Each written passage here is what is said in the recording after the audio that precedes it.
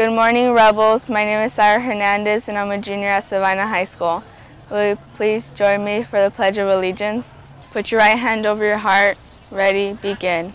I pledge allegiance to the flag of the United States of America and to the republic for which it stands, one nation, under God, indivisible, with liberty and justice for all. Thank you, Rebels. You may now be seated. Good morning, Rebels. I'm Miss Milan, one of your assistant principals. On behalf of your administrators, we would like to thank you for being such a great audience over the past couple of days as we met in the auditorium. You exemplified what it means to have Rebel pride. We hope you found the information interesting and more importantly useful. As we shared with you already, you're off to a great start and modeling behaviors that will lead you to success. Keep up the good work.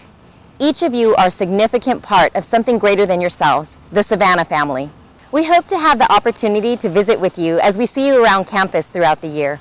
Remember, your success is our success. We're all on the same team.